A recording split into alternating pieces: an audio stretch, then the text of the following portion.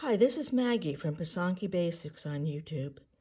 Currently, much attention is being given to a book, The World in the Pysanky of Taras Horodetsky, one of the finest Ukrainian Pysankary and my favorite Ukrainian artist, who died at age 42.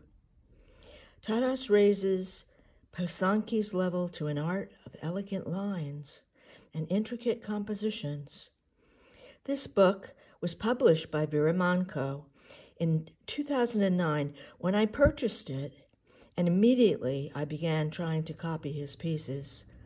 My motivation was to learn how to write complex patterns.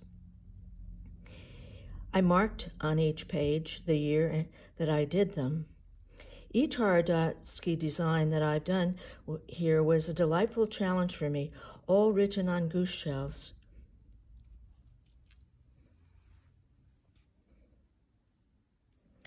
This first one I did in 2009 is from page 71.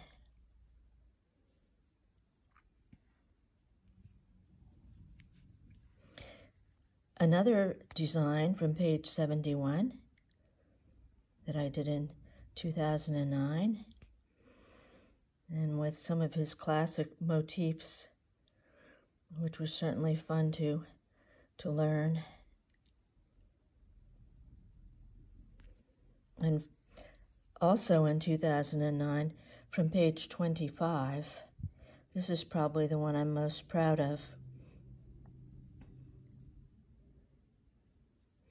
Especially those fine lines.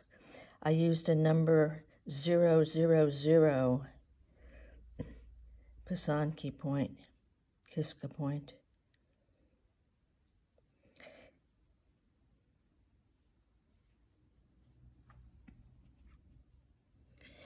I'm now creating several videos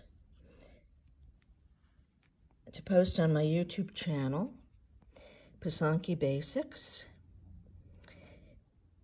And please subscri subscribe to the link below for further samples of my work.